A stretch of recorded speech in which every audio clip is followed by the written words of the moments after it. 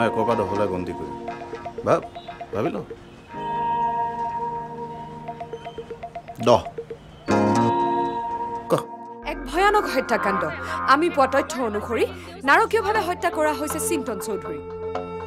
এনেকুৱা মাৰ্ডাৰ কেতিয়াও দেখা নাই ছাৰ। ক্ৰাইম হিষ্ট্ৰীতে নাই এনেকুৱা মাৰ্ডাৰ।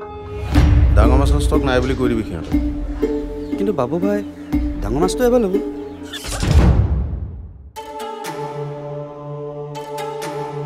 বেলেগে কৰা কাম জাহ্নৱী গোস্বামীয়ে নকৰে ছাৰ। মই ঘটনাৰ আঁৰত থকা প্ৰকৃত তথ্য প্ৰথমতে জানিম তাৰ পিছতহে টকচ কৰিম।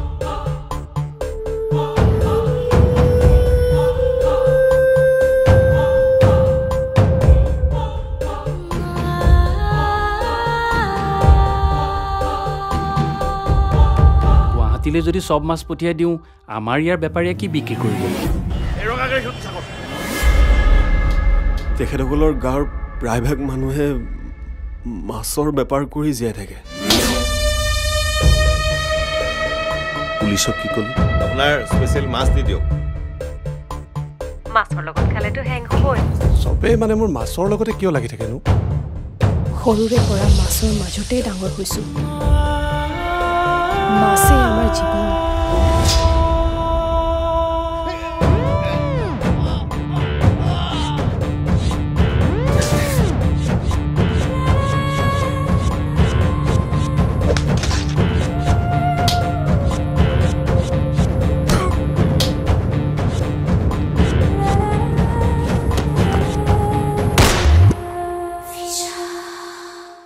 ছাৰ আপুনি ভাল পোৱা ফিচা পিচ মাছৰ লগত মদৰ ভাত কি বুজিব?